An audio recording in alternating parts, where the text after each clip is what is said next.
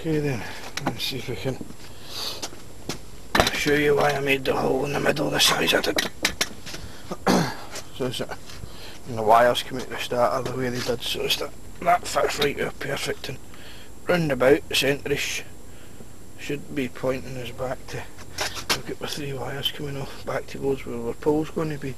And we can put the bridge rectifier and things like that obviously that'll set up a wee bit. With our metal plates back and front. But um, that's what I was saying about use the mould itself to set out your your bars for holding it. And then when you're going to drill it all like I am now I can just drill right through. Everything's bang on should meet nice and square for the bars coming out by the brake discs or metal plates whatever you're going to use.